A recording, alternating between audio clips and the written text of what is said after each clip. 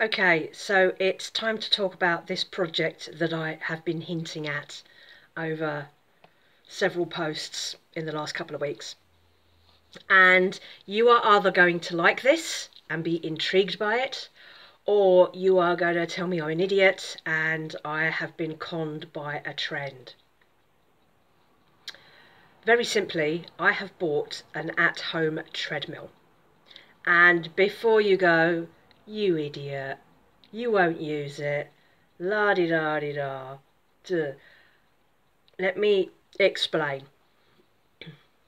So I started thinking about this when I decided it was time to sell the bike and the turbo trainer, which I haven't used since 2020. Well, I've tried to use it a couple of times and get back into it. I bought that when it was a trend in 2020 and I did make good use of it that year and then after that I didn't. The other trend that I really got into in 2020 was the standing desk and I have my standing desk. I've been using this all the time since 2020.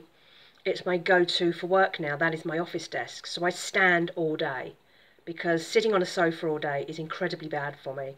My hips hurt, my legs hurt, and it's just not good for you. We're not designed to sit all day. And I don't even have chairs that are good chairs for sitting in, even if I did. So I thought, well, one of the problems I have is that because I work from home and although I do go out and I always try to go out and do my errands and I try to separate them out to make myself go out every day, it doesn't always happen.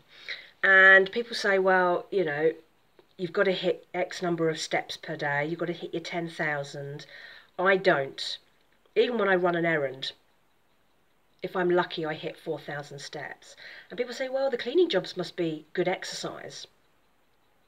I don't actually think it is that good exercise. On a, a, a cleaning job, I will probably only hit 3,000 steps. And although there is other work involved, it's not enough. And there are days when I don't do any steps at all. Now, I know how my mind works. People say, well, just go out and walk. If I do 10,000 steps a day, that's five miles a day.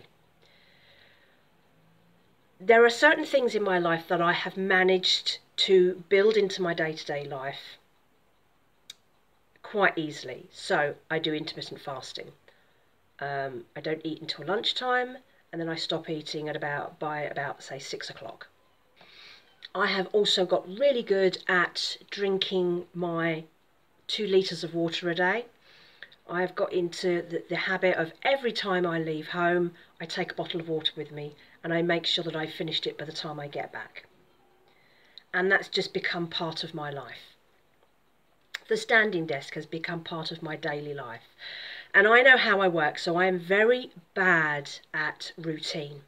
I have a very low boredom threshold. So as soon as something becomes a chore, I stop doing it. I can do those small things because they fit very easily into my daily life and they don't impinge on the rest of my daily life. Exercise is more problematic than that. Now I can go out and do X number of steps a day. I'm not really walking enthusiastically a lot of the time because um, cleaning doesn't involve fast-paced walking. It doesn't involve walking in straight lines for a long time. There's not a lot of stairs involved. So I'm not really burning many calories. But I also find exercise incredibly boring. I don't enjoy it. It's just not me. I have never been into fitness. Um, I have been through phases of being a gym bunny, but I was using it as an escapism for ba other bad situation. I was using it as a coping mechanism. And even when I went to a gym back in the days when I had the money to have a gym subscription, my go-to was always the treadmill. I loved walking and I did get into jogging for a while and running until I did some damage to my legs because I ran too much. I'm very much an all or nothing and I think if it's not hurting me, um, it's not working. And I get very obsessed by the numbers. That's the other problem. I'm a bit of a number nerd. It's why I have so many spreadsheets and why I manage my finances so well is because I've got this thing about numbers. So I've done counting calories with food, I've done counting steps, I've done counting calories with exercise, and I get too obsessed. and then when it doesn't work um, within a relatively short space of time, I just switch off and I've had enough.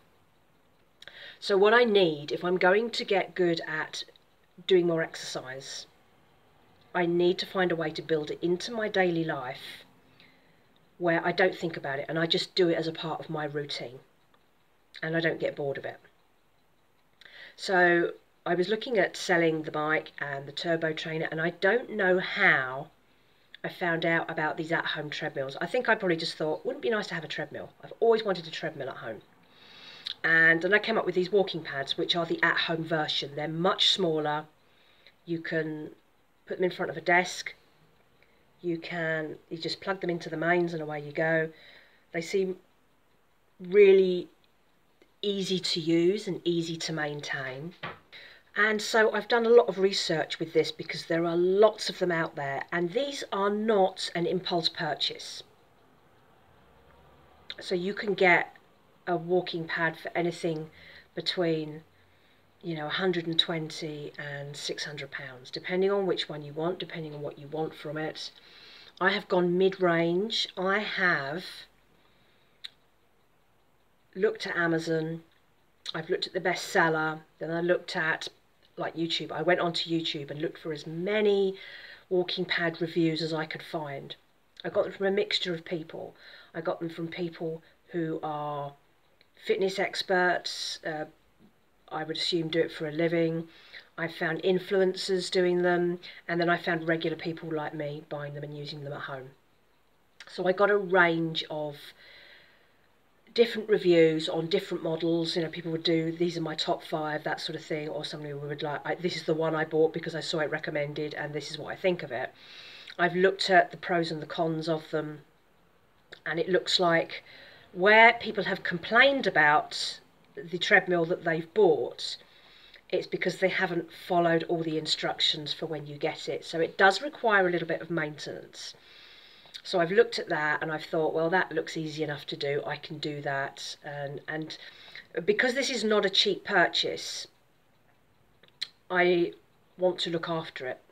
Now, the ones that I've looked, because I've shopped on Amazon and I've looked for one on Amazon, there's a 30 day money back guarantee. So I'm going to put this through its paces within that time and then by then I will know whether or not this is going to work. I think it will be easy for me to use and I think this will be easy for me to use every day. What I don't want it to become is a replacement for doing other exercise. I want to use it as a top up and particularly now that we are in autumn the weather is changing a lot. There are lots of days where getting outside to exercise is almost impossible. As I've said before, I am not very good at forcing myself to just go out and walk five miles around the block. That's just so boring and such a waste of my time.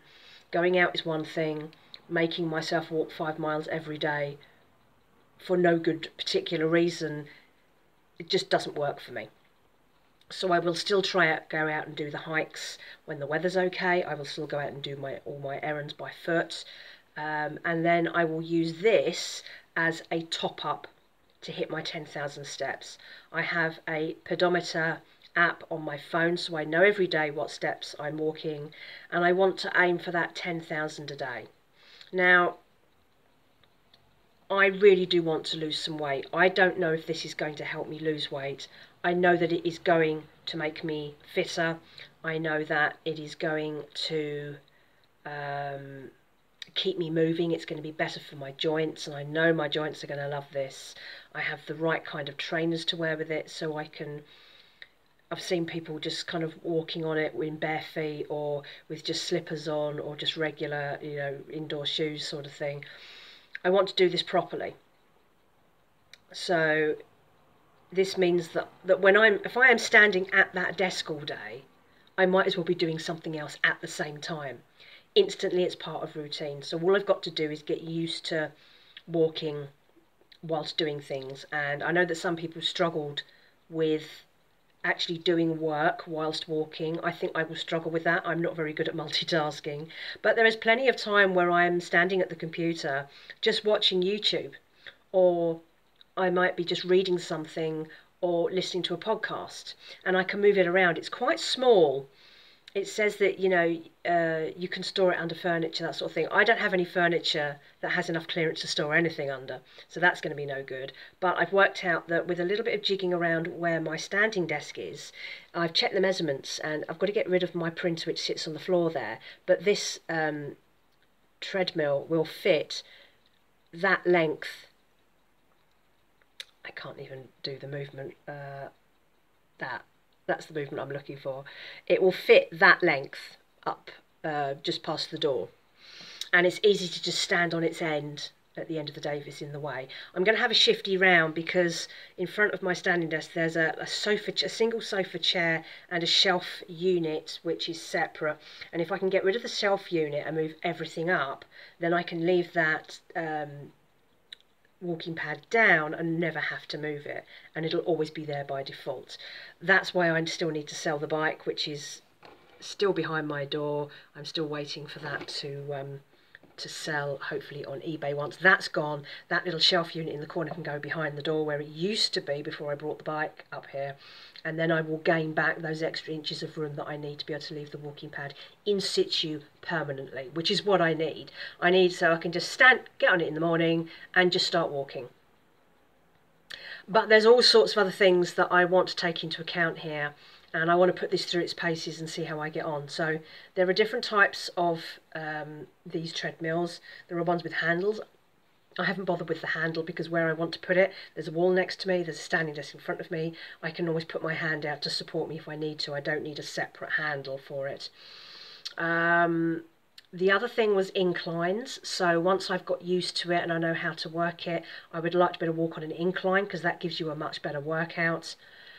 I didn't buy the one with the incline because it was too expensive for me. It wasn't a vast amount more, but I realised that it's very easy to DIY an incline because it has feet on the bottom of this thing and I can create a, an artificial elevation that sits it up. The elevation on the walking pads is only a couple of inches anyway, and I can easily do that for myself. So once I've got used to walking in it, I can just have a permanent elevation on it, and then I will be permanently walking slightly uphill, which I think will be much better for me. And I used to do that with the treadmills in the gym all the time. I was always hitting the uh, the incline and doing it that walking that way.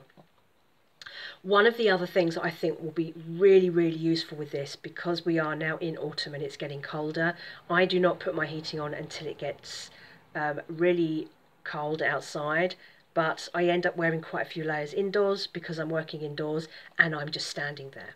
If I am walking on this treadmill, it's going to raise my body temperature and that means I'm going to be warmer here at home with the heating off and it also means that um, you know, even in the evening, if, if I'm a bit too cold and uh, and I just need to boost my uh, my my body heat a little bit, I can just jump on it for 10 minutes and just do a little bit of that.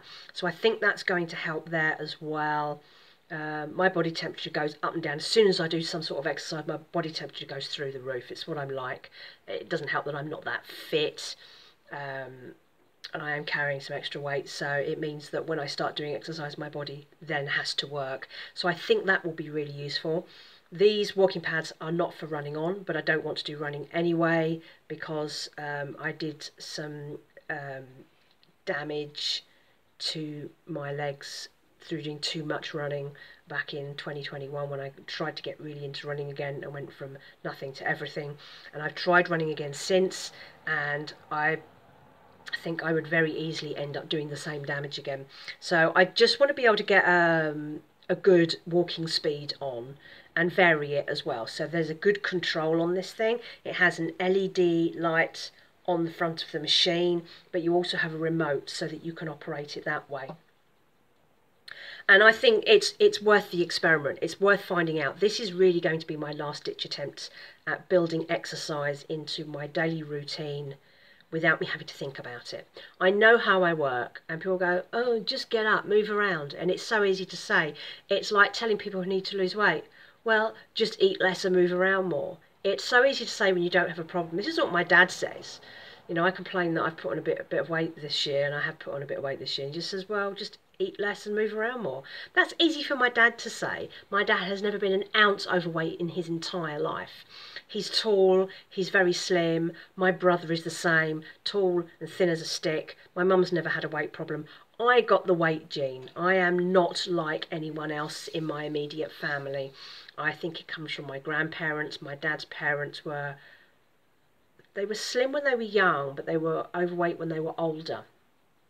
So I don't know whether that's a gene thing or just an age thing. But my parents are like nearly 80 and still stick thin people. They haven't put on any weight. My dad didn't slump into being overweight when he retired nothing really changed. And my dad can't even walk around that well anymore because he had a hip replacement a few years ago, which has been great, but he also has problems with his feet. He has collapsed arches in his feet, so he really struggles to walk. So my dad sits around most of the day now, and he's still stick thin. It drives me mad. I couldn't do that. I could not do that. So it's easy for people to say, oh, we'll just eat less and move around more. But it doesn't work like that. Human psychology does not work like that. So I think that this is going to be the way forward for me, and I've thought about this for a while because this is not a cheap purchase. This is going to cost me £189. And although I don't have an enormous income, I do earn more than I spend, but I'm also incredibly careful with my money. So all my spare money goes into savings accounts, and that's why I can afford to do this. Um, as I say, there's a 30 day money back guarantee on it, so I'm not stuck with it as long as I give it a really good test as soon as it arrives. Um, the other thing that takes the sting out of it is that I have a new credit card which I've got nine months of no payment on. So I don't have to pay for anything that's on the card until next May. So that means this £189 is not going to hit me until next May, which is great. I also got a £5 voucher. Amazon sent me a um, like a promotional £5 off and I applied that to to it. So and I also got free delivery so it's actually cost me a hundred and I think it's 184 pounds 99 or something. Anyway so I've done it. I've bought it. I bought it this afternoon after much consideration and it's only because I have the 30 day money back guarantee that I've gone with this because I have time to reflect on it if I'm not happy with it. So it's on its way, and when it arrives, I am going to do a whole like unboxing thing. I don't do unboxings for clout. Um, I want to do this because I want to show you the entire process of me getting this thing because there will be some of you out there that can afford to do this and would like to have this available at home but just need the advice. So I've watched a ton of videos about testing these out. What are the good ones, what are the bad ones? The one that I've bought is called the Sperax. It is the bestseller on Amazon and all the reviews that I have seen on YouTube and I have read about in magazines, this does seem to come out as a pretty good model. So there's that. The only thing that was never discussed on the videos, and when I googled this, I did find lots of conversations about it. Um, so I know that other people have thought about it, is how much is this going to cost to run? I have lots of tight budgets. One of my obsessions is getting my electricity bill down. Do I want something that's going to eat up a ton of electric? So I've Googled how much these cost to run. It's very vague because there are different models, there are different sizes, there are different um, energy consumptions. These things can eat up anything between, I think it's 300 and 900 watts an hour. And it depends on how much I use it. There will be weeks when I use it a lot. There will be weeks when I don't use it at all. Like for instance, when I go around, go away to my parents, um, I won't use it at all. So it's going to be very on and off. So I need to test within this 30 days I've got it and see if I can afford to run this.